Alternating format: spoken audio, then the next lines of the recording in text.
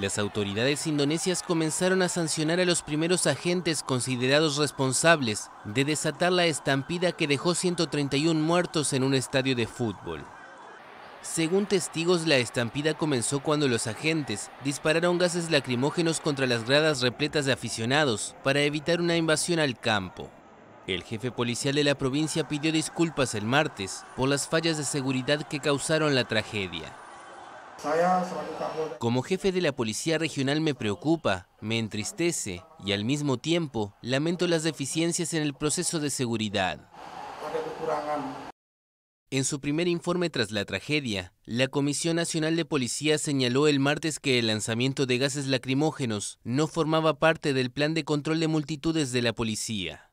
En la noche del sábado, las gradas del Estadio Canjuruján en Malang estaban repletas con miles de seguidores del Arema FC que animaban a su equipo ante sus archirrivales Persevalla Surabaya. Los fanáticos locales invadieron la cancha tras la derrota 3 a 2 y la policía respondió dándoles patadas y golpeándolos con porras, lo que llevó a más seguidores a saltar al campo. Los aficionados del Arema instalaron el lunes un centro improvisado en Malang para recibir denuncias y dijeron que presentarán una querella contra los agentes. Los agentes de seguridad no deberían haber disparado gases lacrimógenos a las gradas. Incluso aunque hubiera habido disturbios, los gases lacrimógenos deberían haberse lanzado al campo y no a las gradas.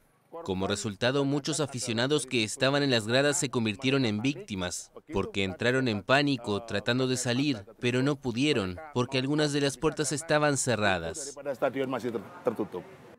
El jefe de la policía local fue destituido el lunes. Nueve agentes fueron suspendidos y otros 19 están siendo interrogados.